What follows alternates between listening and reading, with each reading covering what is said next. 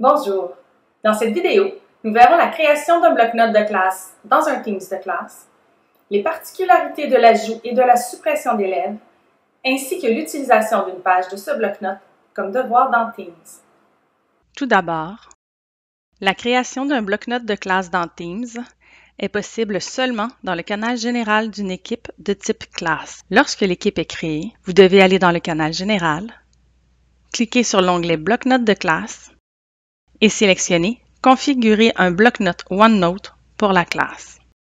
Vous aurez le choix entre créer un bloc-notes vide ou aller chercher du contenu dans des bloc-notes déjà existants. Par exemple, si vous avez déjà un bloc-notes principal dans lequel se retrouvent les différentes ressources pour vos élèves, vous pourrez aller copier des sections et les envoyer dans la bibliothèque de contenu ou dans l'espace enseignant uniquement. C'est ce que nous ferons pour la création de ce bloc-notes. Vous aurez tout d'abord un aperçu et les permissions des sections du bloc-notes. C'est à cette étape que vous pourrez aller copier le contenu de vos divers bloc-notes.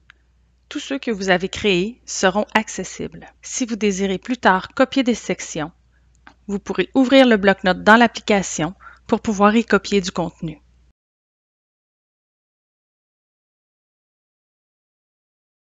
Comme pour le bloc-notes de classe créé à l'extérieur d'une équipe, nous vous suggérons de supprimer dès maintenant toutes les sections, à l'exception d'une seule, puisque par la suite, ce processus n'est pas automatisé. Vous devrez supprimer les sections dans chaque dossier d'élève. La création du bloc-notes peut prendre quelques minutes. Vous recevrez une notification dans les conversations lorsque les sections auront été copiées. Nous pouvons voir que les élèves ont été ajoutés et que les sections, ainsi que leur contenu, ont bien été copiés dans le nouveau bloc-notes. Ce bloc-notes de classe, créé dans Teams, comporte certaines particularités dont la méthode d'ajout et de suppression d'élèves et d'enseignants. Contrairement à un bloc-notes créé à l'extérieur d'une équipe, les ajouts ne se feront pas par l'onglet bloc-notes pour la classe, puisque ce dernier appartient à l'équipe. C'est par les fonctionnalités de gestion de l'équipe que vous pourrez procéder à l'ajout de membres. Vous devrez aller dans le menu trop-plein à droite du nom de l'équipe et aller dans Gérer l'équipe.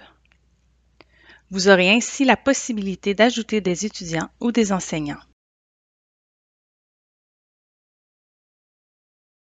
Lorsque l'on retourne dans le canal Général et dans l'onglet Bloc-notes de classe, on peut voir que 12 récits a bien été ajouté. Afin d'optimiser l'affichage dans le bloc-notes, nous vous suggérons de l'ouvrir dans le navigateur ou dans l'application.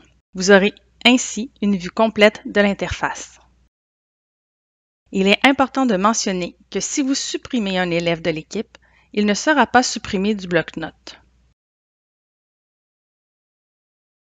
Nous vous recommandons de le conserver comme portfolio afin de pouvoir vous y référer au besoin. Il est également possible, si vous créez des liens de consultation pour les parents, que ces derniers ne soient pas actifs dans certains de vos centres de services scolaires. Ce bloc-notes créé dans Teams vous permettra d'utiliser une page du bloc-notes lors de la création d'un devoir. Les avantages sont que vous pourrez déterminer une date d'échéance. Lorsque cette dernière est dépassée, la page du bloc-notes ne peut plus être éditée par l'élève, mais le demeure pour l'enseignant. Ainsi, vous n'aurez pas à aller dans Examiner les travaux et verrouiller le travail de l'élève. Toutes les annotations que vous ferez seront automatiquement en consultation seulement pour l'élève. Dans le canal général, utilisez l'onglet Devoir pour créer une nouvelle affectation et compléter les champs nécessaires. Pour ajouter une page du bloc-notes, sélectionnez Ajouter des ressources sous le libellé des instructions. Vous verrez l'option d'utiliser le bloc-notes de classe dans le panneau à gauche. Vous pourrez ainsi choisir dans quelle section vous désirez aller chercher une page déjà créée. Vous pourrez ensuite déterminer dans quelle section d'élèves vous désirez qu'elle soit distribuée. Vous pourrez également gérer les différents paramètres du devoir. L'élève pourra accéder à son devoir à partir de Teams, soit dans les devoirs dans la barre de navigation à gauche et en sélectionnant l'équipe ou en allant directement dans le canal général de l'équipe et en cliquant sur l'onglet Devoirs. Il pourra ainsi ouvrir la page du bloc-notes.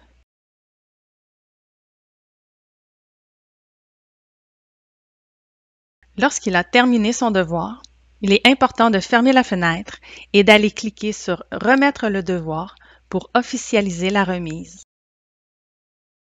Lorsque l'échéance du devoir est dépassée, les remises ne sont plus autorisées. Si l'élève retourne dans son bloc-notes et ouvre la page, elle est maintenant en consultation seulement pour lui, mais toujours en mode édition pour l'enseignant.